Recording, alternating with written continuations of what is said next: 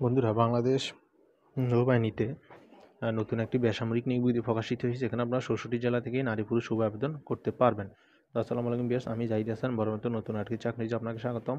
Channel নতুন হয়ে থাকলে অবশ্যই চ্যানেল সাবস্ক্রাইব করে দিবেন। তো চলো আমরা সম্পূর্ণ সার্কুলার দেখে নেই, এটা হলো বানজ শহীদ মোয়াজ্জেম, যেটা কাপ্তাই জেলার বাংলাদেশের নৌবাহিনীর রাঙ্গামাটি পার্বত্য জেলার কাপ্তাই প্রশিক্ষণ ঘাঁটি বানজ শহীদ মোয়াজ্জেমের জন্য সম্পূর্ণ অস্থায়ী ভিত্তিতে চুক্তিভিত্তিক নিম্নলিখিত পদের জন্য অসামরিক প্রশিক্ষক, ডেমনস্ট্রেটর ও জুনিয়র প্রশিক্ষক নিয়োগ করা হবে। আমরা শুরুতে পোস্টগুলো একটু বলে দিই। প্রথম প্রশ্ন হচ্ছে ইংরেজি প্রশিক্ষক একজন বেতন ছাব্বিশ হাজার টাকা এবং নিয়ম অনুযায়ী দশ পার্সেন্ট ব্যাট কর্তন করা হবে। যে কোনো স্বীকৃতি বিশ্ববিদ্যালয় হইতে অনার্স দ্বিতীয় শ্রেণি গ্রেডিং সিস্টেমে মাধ্যমিক, উচ্চ মাধ্যমিক থ্রি পয়েন্ট এবং শিক্ষকতায় অভিজ্ঞতা লাগবে। দুই নম্বর রয়েছে প্রশিক্ষক পদার্থ পদার্থবিজ্ঞান। একজন নিয়মে ছাব্বিশ হাজার টাকা বেতন সেম দশ পার্সেন্ট ব্যাট কর্তন করা এবং উপরের যোগ্যতা এবং এই যোগ্যতা একই। এরপর রয়েছে ডেমোনেস্টর রসায়ন একজন, ছাব্বিশ হাজার টাকা। সরকারি নিয়ম অনুযায়ী দশ পার্সেন্ট ব্যাট কর্তন, এটাও গ্রেডিং সিস্টেমে সাইডে জিপি লাগবে, স্বীকৃতি বিশ্ববিদ্যালয় হইতে। তারপরে ইন্টার পাশে থ্রি পয়েন্ট লাগবে এবং অভিজ্ঞতা লাগবে।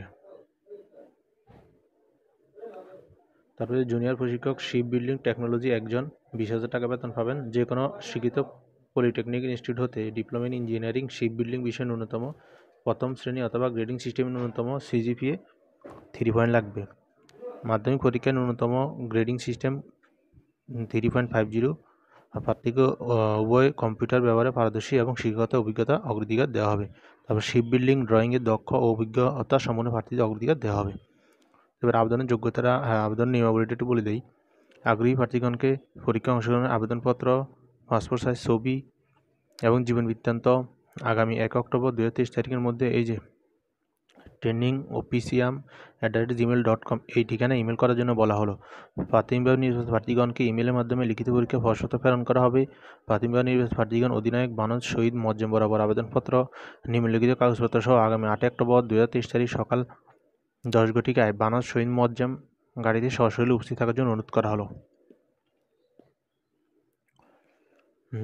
কী কী নিয়ে যাবেন? প্রবেশপত্র আবেদনপত্র জীবন বৃত্তান্ত দুই কপি পাসপোর্ট সাইজ ছবি শিক্ষা যোগ্যতা সনদপত্র, মূল কপি ও এক কপি ফটোকপি, অভিজ্ঞতা সনদ, মূল কপি, এক কপি ফটোকপি, চেয়ারম্যান সার্টিফিকেট দু হাজার তেইশ সালের জাতীয় পরিচয়পত্র, মূল কপি ও এক কপি ফটোকপি। উক্ত দিবসে প্রাথমিকভাবে নির্বাচিত প্রার্থীদের লিখিত মৌখিক ও ব্যবহারিক পরীক্ষা গ্রহণ করা হবে। পরবর্তীতে চূড়ান্তভাবে নির্বাচিত প্রার্থীদের বিধি মোতাবেক নিয়োগ প্রদান করা হবে। অনিবার্য কারণবশত উপরোক্ত তারিখে পরীক্ষা অনুষ্ঠিত না হলে সংশোধিত তারিখ সহ সহ পরীক্ষার্থীদের ইমেলের মাধ্যমে জানিয়ে জানিয়ে দেওয়া হবে। সকল পদের জন্য বয়সীমা শিথিলযোগ্য তারপরে অধিনায়ক বানজ শহীদ মজ্জেম কাপ্তাই পার্বত্য জেলা অনুকূলে এক হতে তিন নং পদের জন্য তিনশত টাকা, চার নং পদের জন্য দুইশত টাকা, ব্যাংক ড্রাফট অথবা পে অর্ডার সংযুক্ত করতে হবে।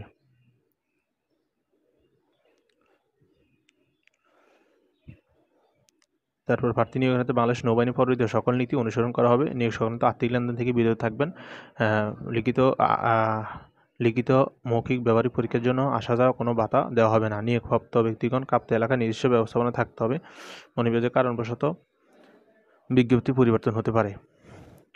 অধিনায়ক বানস কাপ্তাই রাঙ্গামাটি পর্বত জেলা, যোগাযোগ মোবাইল নম্বর, ফোন নম্বর দেওয়া আছে। যোগাযোগ করতে পারেন। তো বন্ধুরা, সম্পূর্ণ সার্কুলারটা আপনারা দেখে নিয়েছেন অনেক সুন্দর একটা চাকরি, যারা যোগ্যতা সম্পন্ন আছেন আবেদন করেন। তো ভালো থাকবেন, নিত্য নবীদের চাকরির জন্য চ্যানেলটি সাবস্ক্রাইব করবেন। ধন্যবাদ, আসসালামু আলাইকুম।